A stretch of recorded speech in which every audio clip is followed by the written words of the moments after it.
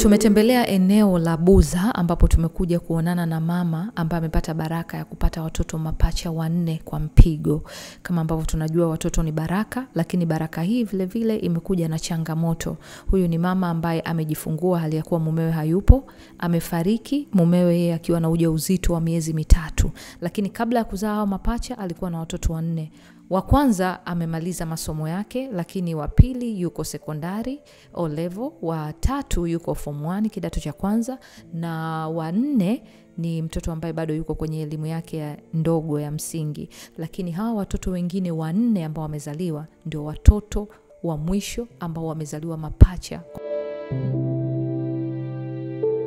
Natamani kujua kabla hujajifungua ulikuwa unafahamu kwamba umebeba mapacha wanne ama ni kitu ambacho kilikuwa surprise hata kwako?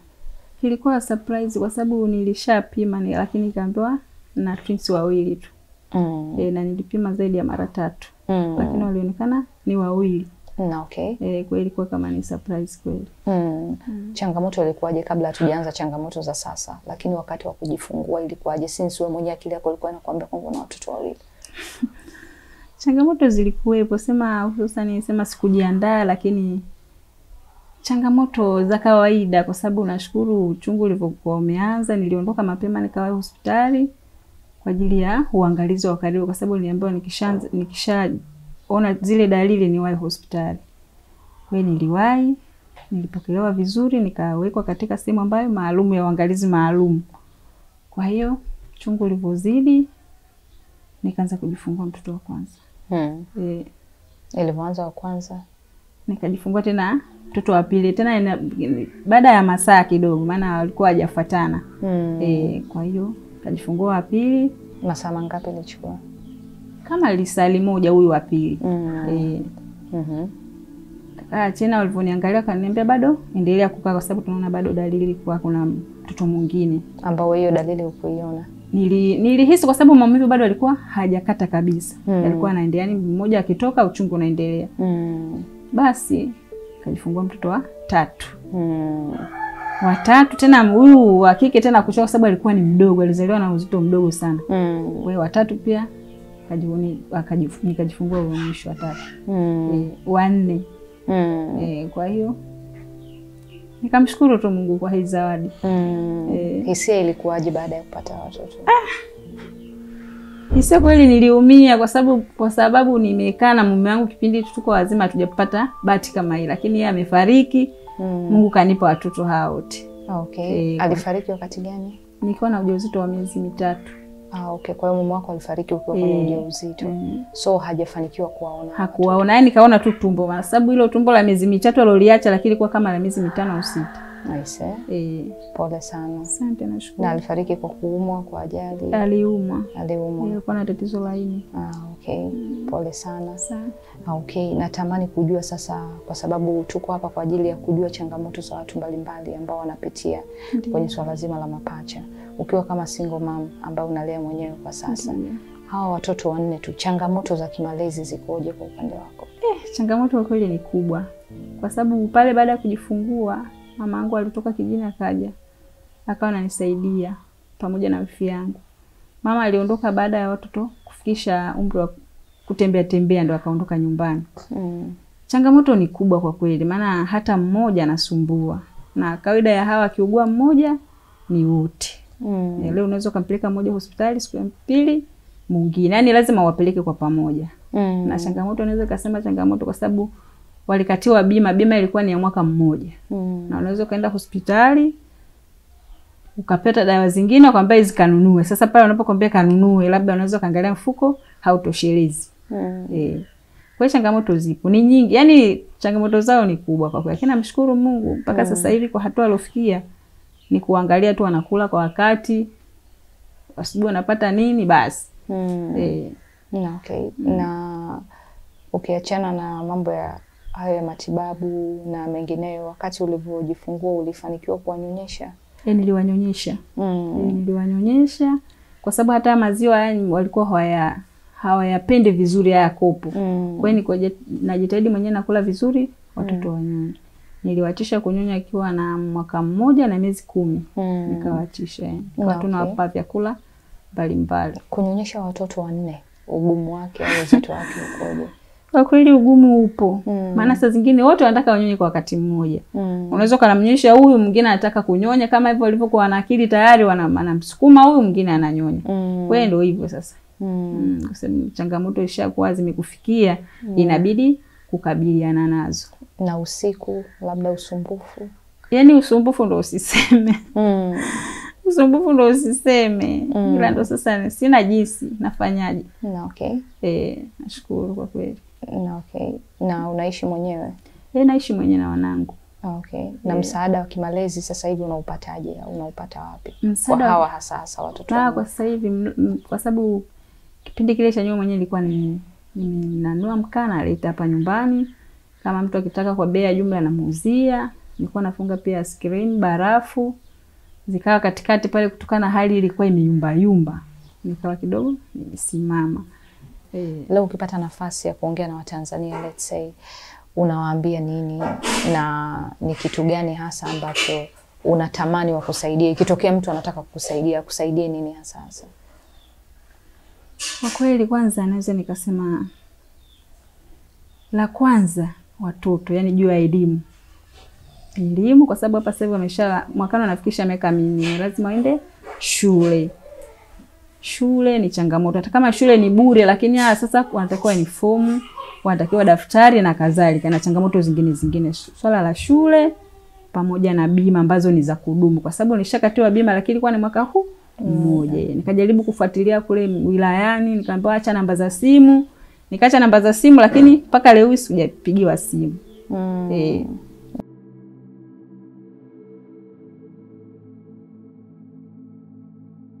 Kumbuka ana mzigo wa watoto wanne ambao wapo hawana baba, kwa maana baba amefariki, na kuna hawa wanne wengine ambao wamekuja dabo. Changamoto ni nyingi, mambo ni mengi anayoyapitia yeye kama mzazi na mtu ambaye analea watoto peke yake. Hawa watoto wote wanahitaji kwenda shule kwa sasa.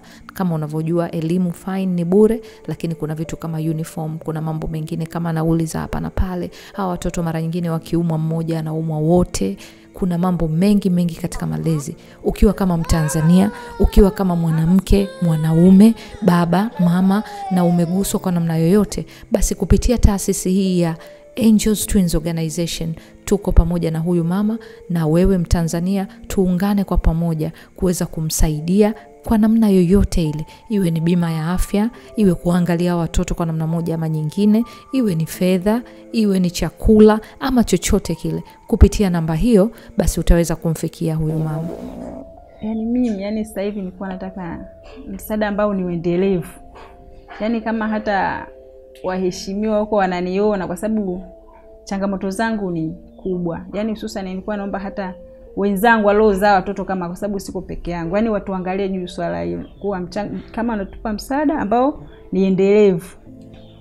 Ina maana mimi nikasema yani hata kama mheshimiwa wangu akanulia hata kibajaji akasema hichi hapa kikuendeshe maisha, ningeshukuru zaidi Hmm. yaani ningeshukuru zaidi, maana ule msaada ni endelevu Hmm. kile kinaendelea na kazi zake, na mimi mwenyewe huku nikijishafanya shughuli zangu ndogo ndogo hmm. maisha yanaenda. Mm. E, tofauti mtu akikupa pesa sasa hivi, sawa, unaweza ukafanyia biashara, lakini kuna kipindi biashara zinakuwa zinakwamakwama. Sasa zikikwamakwama, inakuwa hakuna kitu cha kukuinua. Sasa hivi unafanya nini mbali na mambo ya mkaa?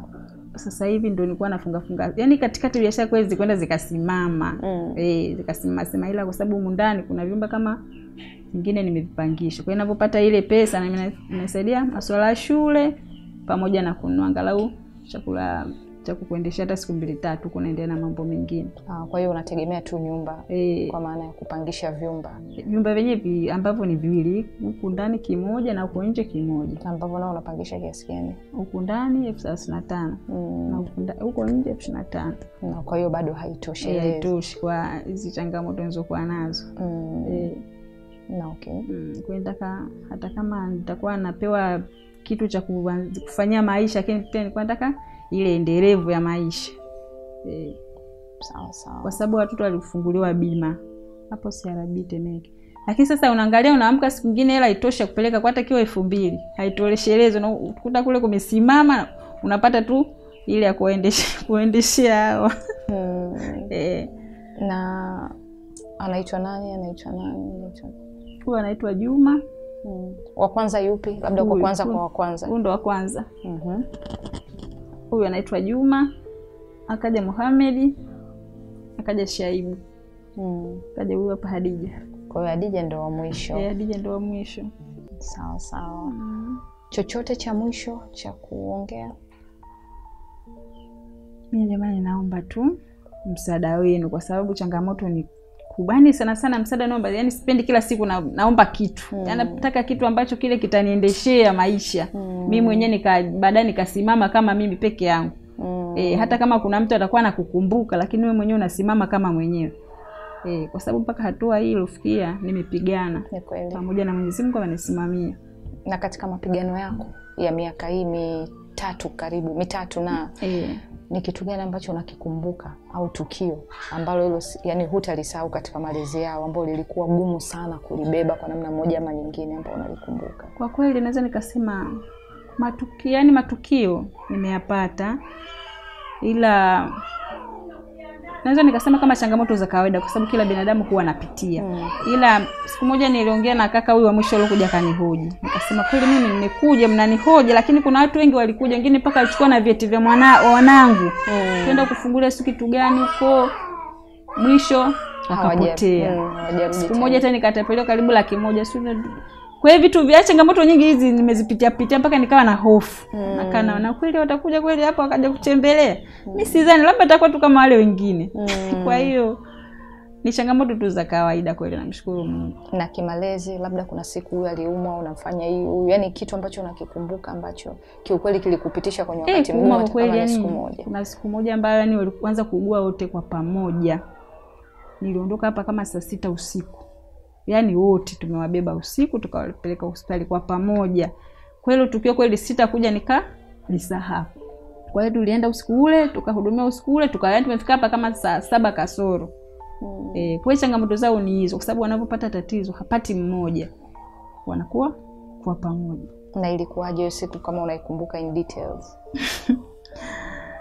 kwa kweli siwezi sema ilikuwaje, lakini nisikia uchungu. Yaani hakuna kitu kibaya au kinachohuzunisha kuwalea watoto ukiwa peke yako, ukasimama kama peke yako e, lakini natakiwa tu kufunga mkanda na kupambana basi. E, Alianza yupi? alianza huyu e, yaani kama jioni jioni, kama kama alikuwa tu kama ameanza kuharisha Mm. kwa hiyo ilipofika mida yani kawa nilivyoenda kuangalia nimewalaza wote wameanza tatizo hilo e, kwa hiyo ndo tukawaisha hospitali wakapata huduma Kama ambavyo umeweza kumsikia, huyo ni mama wa watoto hao ambao ametoka kuongea, lakini tuliweza kufanikiwa kuongea na binti yake mkubwa wa kwanza pia. tuliachwa sisi na baba wakati wakati mgumu sana, kwa sababu mimi kipindi hicho nasoma, nilikuwa shule nasoma Kunduchi.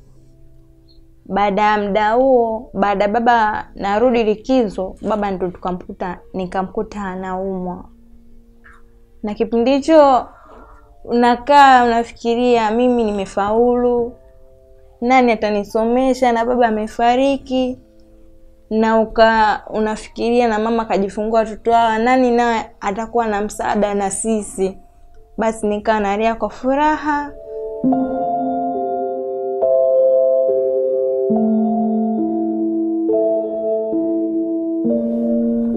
Tunamshukuru Mungu mpaka alikofikia hapa. Mungu tu ndo anawalinda watoto na mama.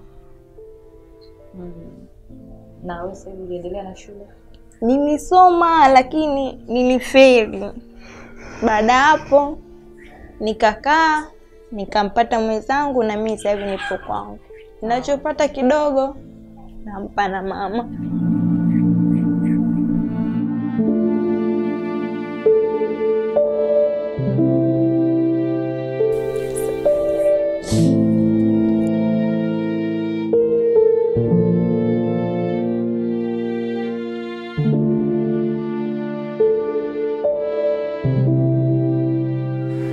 kwetu zilikuwa ni kubwa, maanake zingine watoto huyu anataka kula, nabidi umchukue mmoja msaidie mama ku, kumnywesha, huyu mwingine ameji, amejisaidia.